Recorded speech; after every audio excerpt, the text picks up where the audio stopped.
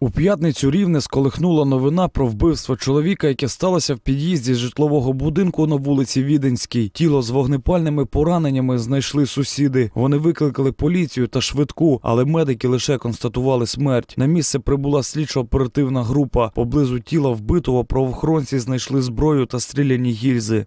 Поступило повідомлення однієї із жильців будинку 35А по вулиці Відінській в місті Рівне про те, що в одному з під'їздів виявлено труп е, невстановленого чоловіка. Значить, виїздом слідчо-оперативної групи було встановлено, що в під'їзді будинку на шостому поверсі знаходиться е, мертвий чоловік, значить, і біля нього знаходиться пістолет, глушник до пістолета та е, вісім гільз. За попередніми даними, чоловік у під'їзді пролежав декілька годин. Окрім слідчих та медиків, було викликано і вибухотехніків. У правоохоронців виникла підозра, що тіло може бути заміноване, але ця інформація не підтвердилась. Було встановлено, що загиблий працював в слідчому ізоляторі. Колеги чоловіка його смертю шоковані. Вбитий був співробітником Рівненського слідчого ізолятора. Службу проходив на посаді начальника відділу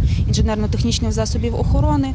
Безпосередньо на момент вбивства перебував у щорічній у відпустці. Безпосередньо в- його службові обов'язки входило це е, контроль за роботою сигналізації, безпосередньо освітлення на території слідчого ізолятора. Ніяких дисциплінарних проступків чи е, характерного якоїсь е, правопорушень з його сторони не було помічено. Серед колег він характеризувався тільки позитивно. У службових обов'язках він не спілкувався не з засудженими, не з особами, які утримуються в слідчому ізоляторі. 37-річний чоловік проживав у тому таки під'їзді, де його знайшли. Серед сусідів його сім'я характеризується позитивно. Дуже хороший, він наш сусід.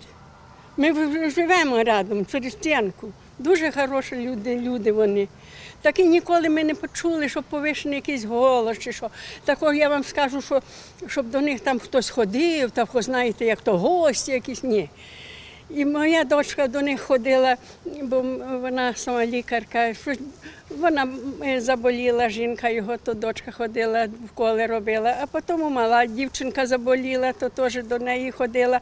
То так ми вже тоді стали як вже близькі, знаєте. Вже завтра чоловік повинен був повертатися з відпустки на службу. Обставини його смерті встановлюють слідчі. Одна із версій вбивство носить замовний характер. Замовника та кілера досі шукають. Наша програма буде слідкувати за подальшим розвитком розслідування.